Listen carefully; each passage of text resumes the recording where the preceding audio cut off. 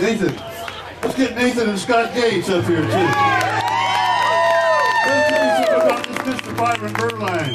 I was a big fan, I still am a big fan of his. When he was with the group The Dillards. And Byron was kind enough back in those early days, being as hot as he was, Early 60s. to be able to play on that Uncle Charlie album. You heard him on a lot of songs like Yukon Railroad and stuff like that. Randy Lynn Rag, he fried that one. So thank you for that, Byron. And we've known each other almost 40 years, and we've been, been really good friends for the first two. Well, that honky tonk, especially the Bluegrass Festival, without seeing Will the Circle Be Unbroken as well. Oh,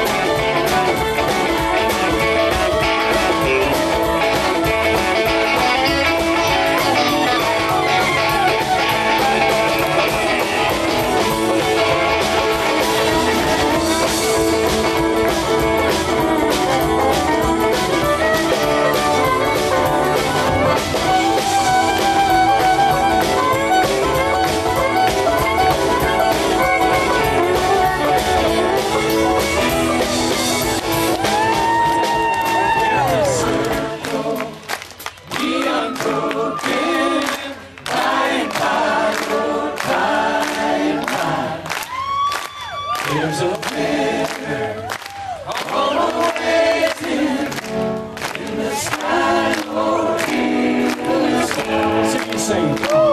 In the circle, the unbroken.